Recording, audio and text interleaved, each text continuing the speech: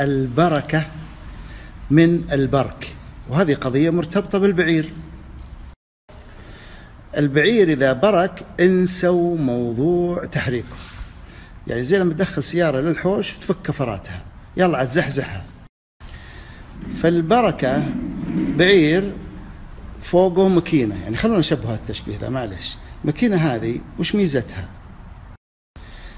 إذا دخلت فيها ريال طلعت طلعت لك 500 تاخذ ال 500 اللي تفككها ريالات تدخلها كل ريال يطلع لك 500 تخيلوا.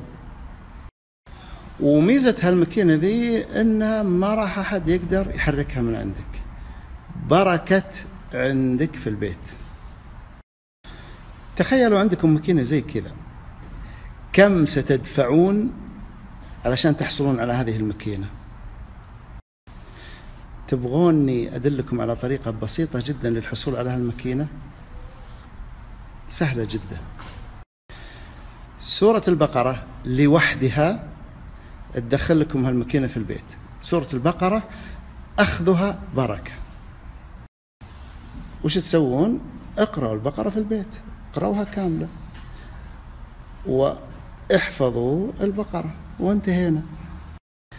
اللي يعانون من شح في المال شح في الوقت شح في الصحة دواءكم يا جماعة الخير في سورة البقرة بين أيديكم. سورة البقرة أخذها بركة وتركها حسرة ولا تستطيعها البطلة.